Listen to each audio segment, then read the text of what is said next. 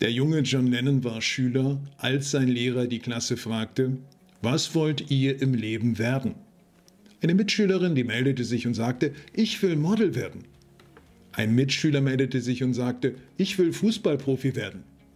Und schließlich fragte der Lehrer, und du, John, was willst du im Leben werden? John überlegte einen Moment und sagte, ich will glücklich werden. Der Lehrer legte seine Stirn in Falten. Ich glaube, du hast meine Frage nicht verstanden.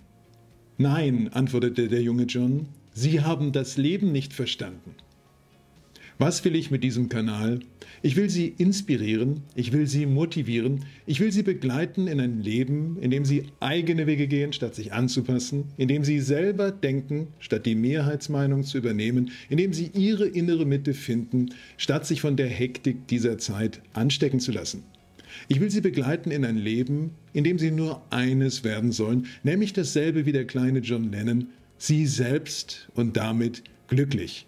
Und wenn das gelingt, dann ist noch jemand anders glücklich und das bin ich.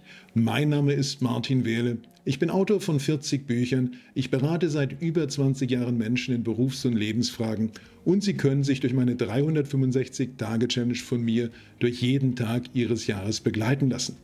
Bleiben Sie mir treu, schauen Sie oft auf diesem Kanal vorbei. Ihr Martin Wehrle.